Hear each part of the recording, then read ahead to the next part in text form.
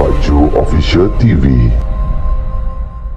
Sekian lama menghilangkan diri sejak hangat diperkatakan mengenai penahannya di Bangkok, Thailand bulan lalu, Sajak atau nama sebenarnya Muhammad Sajak Kamaruzaman muncul di IG live tengah hari tadi. Menerusi sesi live itu, Sajak memaklumkan dia kini berada di Australia dan sedang menjalani kuarantin di negara itu.